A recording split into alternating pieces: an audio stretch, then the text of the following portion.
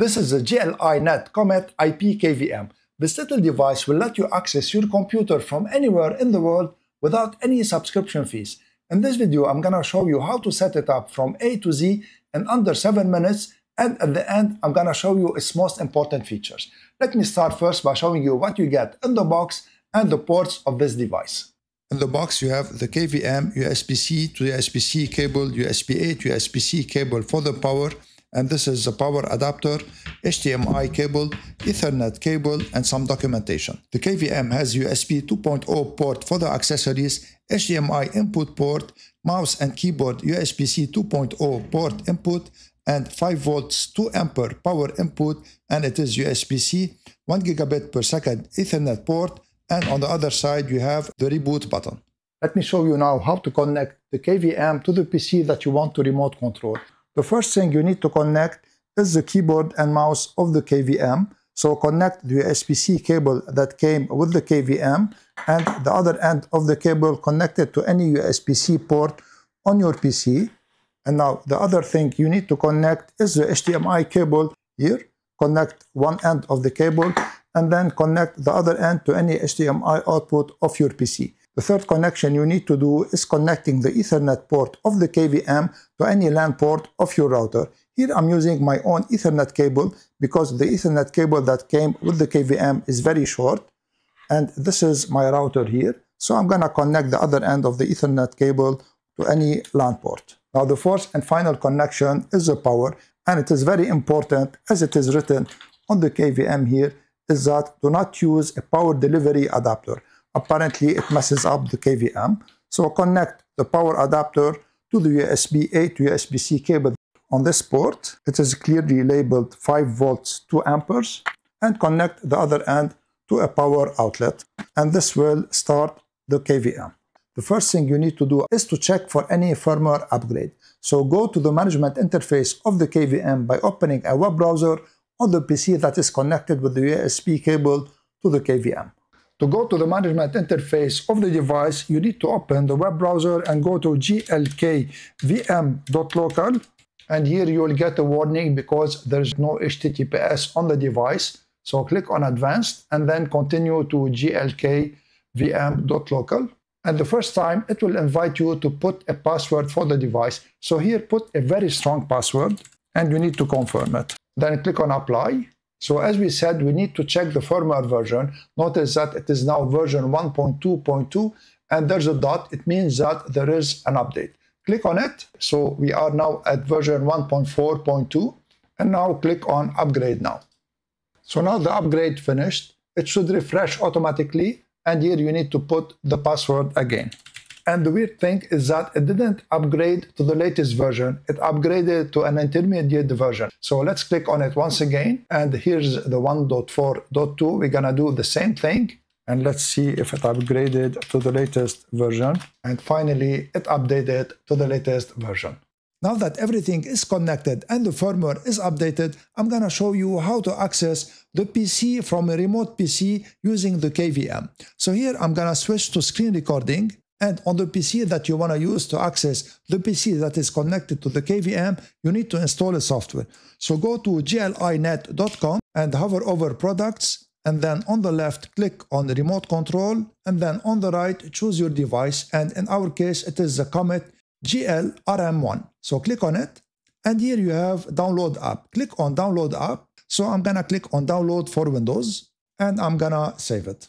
And after the executable is saved, you need to install it. So here I already installed it. I'm gonna launch the application.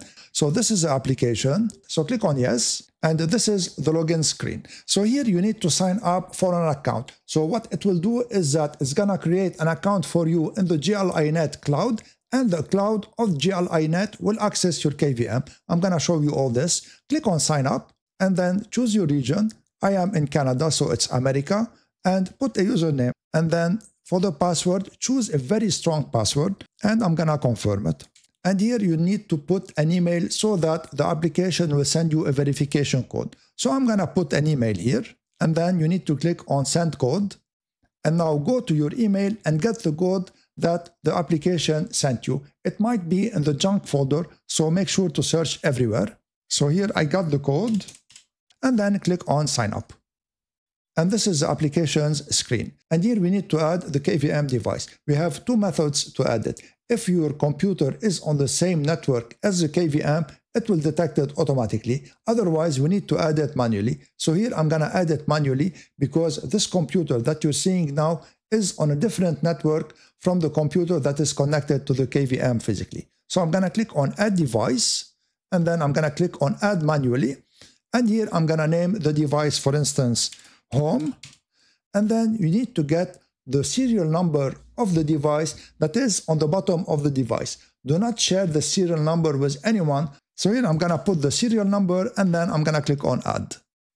And it found the device. So it says binding successful. So here I'm gonna click on done. And now you see that my KVM home is online. So now you need to click on remote control here so that you can access your remote PC. I'm to click on remote control. And here it will ask you for the administrator password that you put on the KVM. Remember, we put this when we went to update the firmware of the KVM. So here I'm to put it and then click on login. And now it will connect to your remote computer. So here I'm to show you some interesting settings. Click on settings here. You can get the sound from the remote computer. So I'm to enable the speaker here. And there are still a couple of things that I want to show you that are important. The first one is under Toolbox. If you click on Toolbox here, the most important thing is the Wake on LAN. So here you need to click on Add Device, and now the KVM, it will go and it will scan the local network that it is connected on. And here you need to search for the IP of the PC and then add it. So here it is. I'm to select it and then I'm to click on apply. So let me show you how the Wake on LAN works. I'm to put the remote computer to sleep here. I'm to choose the power button and then I'm to click on sleep. So now if you click on wake here, it should wake the computer, but there is a bug that I discovered. So to be able to wake the computer, you need first to click on modify and then close it and then go and then click on wake and now the computer will wake. So this is a bug, in my opinion, that should be corrected in the next firmware upgrade. And there's another important option called virtual media. So here easily you can drop any file here from the PC and then go to the remote PC here and retrieve the file. Now I'm gonna log in here and also I'm gonna show you how we can put it full screen and we're gonna test the video and audio and there is something also weird about the audio. It like changes the tonality of the voice. So let me put it first full screen and I'm gonna open Chrome and launch my channel on YouTube. To show you a way to save money on software licenses. so, so I'm gonna show you a way is. to find. So this is something else also that should be corrected in this application. It is also worth mentioning that you can add accessories to this KVM, like for instance, this ATX power module. So this one connects to the KVM on the USB 2.0 port and you connect it also to the motherboard of your PC. And this way you can remotely control the physical power on off button of your PC. So as you saw, this IP KVM from GL.iNet works very well except of course for the weird sound that it produces. So I'm sure that GL.iNet will correct this in the future update. If you want to check it out, I'm going to leave an affiliate link in the description. If you make a purchase using my link, I'll gain a small percentage at no cost to you and this will support my channel. And if you liked my video, please share it, subscribe to my channel and give this video a thumbs up. I would really appreciate it. I want to thank you all for watching. I'm Eloy from Knowledge Sharing Tech. See you in the next video.